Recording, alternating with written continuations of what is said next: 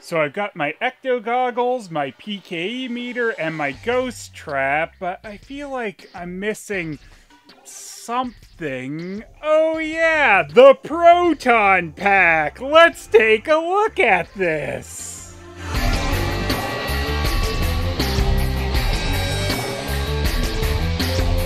So here is the deluxe replica quality proton pack put out by Spirit Halloween. I am Halloween.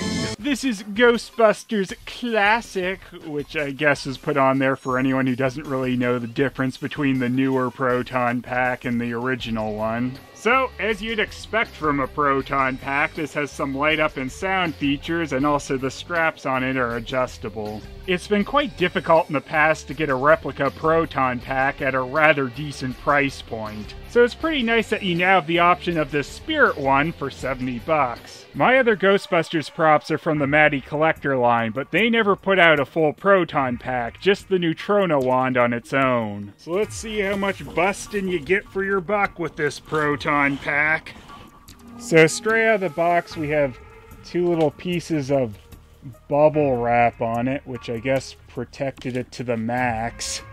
Alright, stupid little sniffs about the packaging aside, this thing does look pretty good for 70 bucks. One thing that looks like it might be a little annoying with this pack is the um, stiffness of the cord connecting the Neutrona wand to the rest of the pack. I've heard some complaints about this Proton Pack's color, the complaints mostly being that it's a little overly brown and not dark black enough, but I don't know, if I compare it with my PKE meter, it's kind of similar and that seems okay to me. Now, yeah, I definitely know it's not perfect, but you're not going to get that for 70 bucks. I've seen some people taken to painting up these proton packs and modifying them a bit to make them look a little more screen accurate, and that's a really good option if you want something much cheaper than a few thousand dollar proton pack. But yeah, as I mentioned, the thing kind of annoying me straight out of the package here is just kind of how stiff this cord is. One other nitpick I guess I'd have is the placement of the speaker being so blatant right where the red lights would be going. I just feel like there probably could have been another spot on the pack to make it stand out a little less. There isn't a lot of painting going on with this proton pack, but we've got a lot of decals on here to fill out things like the danger and warning labels. Which is good because now I know to use only hydraulic pumps that have O-ring type and to grease the retention splines. And now I know what motivates the proton pack. I really love that they have the Clippard minimatic valve detail on here, both on the pack and on the wand. Yeah, you can see some of the spots where they sprayed the silver on this thing kind of got a little overrun.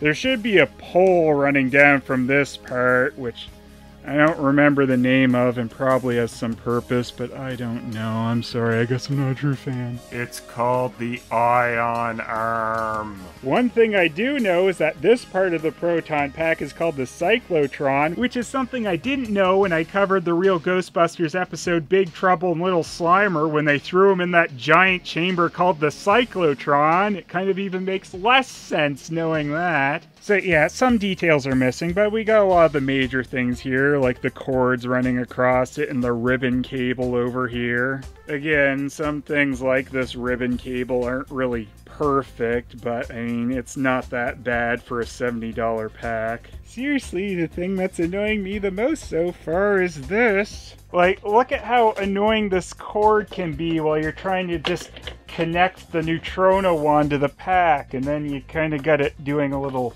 loopy thing here, which is not really ideal.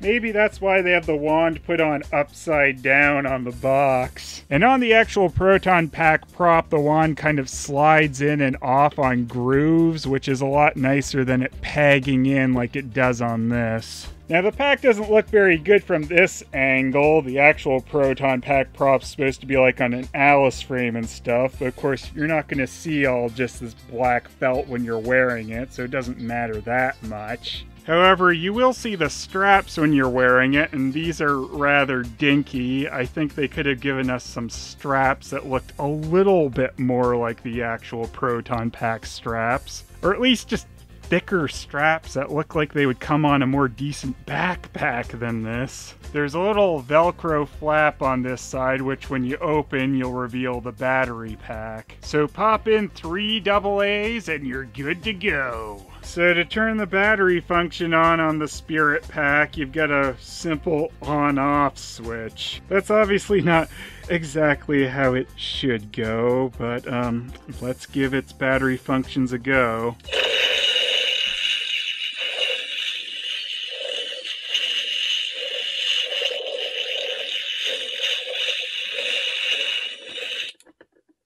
It's pretty cool. It's lighting up in most of the spots it should with the cyclotron and the blue light here, and of course it flashing from the wand. But all you have with lights and sound with this proton pack is while it's shooting. There's no startup or cooldown after you're done firing, which is kind of something I really wish was on here. Those sounds and like the just idling light while it just flashes the different red lights on the cyclotron are something I really wish we were on here because it feels a little empty without it in a way. Now, if you leave it going long enough, there is a bit of a stop sound, but it doesn't really sound right compared to how the actual proton pack does. It'd just be really nice if it wasn't just so abrupt on and off, just instantly done. Now, don't get me wrong, I think this pack looks absolutely awesome in firing the proton stream mode, but I don't think it should have added any more to the cost to just have an on switch which would activate, you know, just idle standard mode with the flashing lights and not really making any noise except maybe the when you turn it on, and then have another switch to activate the firing mode. So, really, to me, the lack of an idle mode is the biggest downfall of this particular pack. I mean, that and uh, the wand's a little small. So, if you thought I wasn't to suit up to try this pack out, I don't know if I'm quite ready to believe you. So when you're actually wearing the Proton Pack, here's why having the sliding off wand is so much better than this peg thing. It's not as hard to get off, but trying to get it back on, quite annoying. Here, here's what it looks like when I'm standing here with my thrower. Man, I'm awesome, right? Shut up.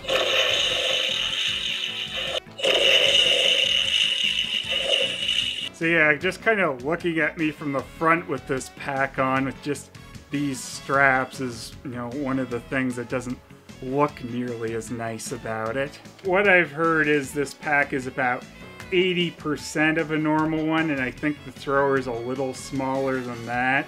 But I mean, overall, it doesn't look horribly undersized. I can say this thing looks really awesome in the dark, as long as you're shooting. Bye. The peg connector really is kind of an annoying issue with this, though, as I think you pretty much have to slide the pack off and peg it back on whenever you want to stick the wand back onto the pack. Also, it's quite easy to bump the on and off switch when you don't mean to. I know I keep complaining about the same thing, but the tension of this cord, you know, kind of makes it flop in front of the pack on mine at least, and it gives it so much tension on here it'll easily pop the wand out sometimes, and then you'll bump the on and off switch and have it go off like you don't want to.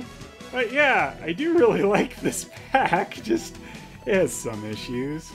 The Spirit Ghostbusters Proton Pack has a lot of pros and cons to it. When you look around at all the detailing on the pack, it looks pretty good and accurate in a lot of ways, but its color really isn't quite right, and it doesn't have as much of that cobbled together look as the actual Proton Pack does. Also, overall, its look is a bit flat compared to how the actual prop should look. Having now worn this pack out for a Halloween party, I can tell you the stiffness of the cord really is an issue, as once in a while it would pop the thrower off, leading to it hitting the floor and also bumping the on button. I'd recommend changing how it connects with some metal brackets. And really, this pack is a good base if you want to fix it up a bit for a cheaper proton pack. As it is, I'd still say it does its job fairly well for a budget pack. There just could have been a couple more features that I don't think really should have bumped the cost up that much. 7. It's nice they finally thought of a decent way to make a budget proton pack, and I appreciate that even though there's quite a bit that's a bit cheap about its construction, with it mostly being a plastic shell that houses a few blinking lights and a soundboard, that they still really paid attention to a lot of the detailing that should be on a proton pack. 7. It's kinda weird that it's taken this long for a mass marketed adult sized proton pack. It's not quite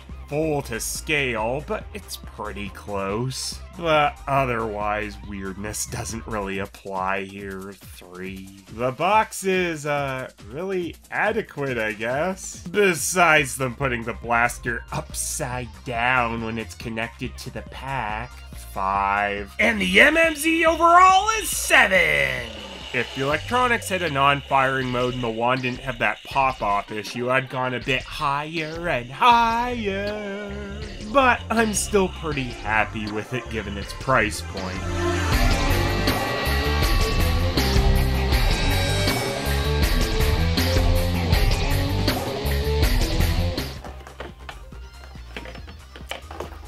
Yeah, just uh, screw that. anyway.